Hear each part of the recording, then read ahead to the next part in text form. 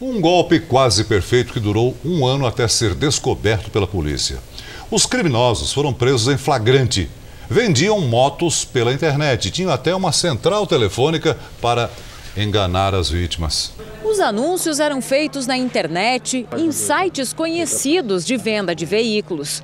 Os criminosos se passavam por funcionários de grandes montadoras e anunciavam as motos com preços bem abaixo dos de mercado. 20% num veículo zero quilômetro é, é, novo, né? Neste vídeo, um deles conta como funcionava o esquema. Eu me passo como se fosse um, uma pessoa que trabalhasse no faturamento da fábrica. E peço a documentação para estar tá gerando aqui a ordem de fatura e envio para eles. A ordem de fatura é um boleto a ser pago pelo comprador. A cada compra, o lucro era de 5 a 8 mil reais. O dinheiro caía direto na conta dos criminosos.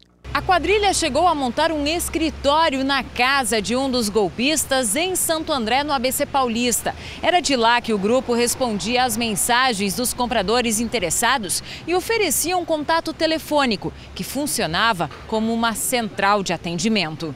Você ligou para o setor de faturamento modo da Amazônia. Para sua segurança, sua ligação está sendo gravada. Vitor Pereira da Silva, Cleiton Pereira dos Santos e Vitor Lira da Silva, o líder do grupo sem passagem pela polícia, foram presos em flagrante e respondem agora por estelionato e formação de quadrilha.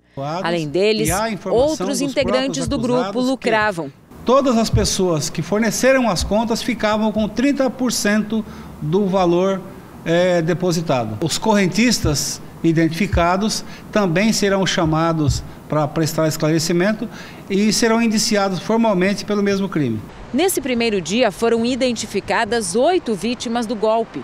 Mas, como o grupo atuava há pelo menos um ano, a polícia estima que esse número seja muito maior.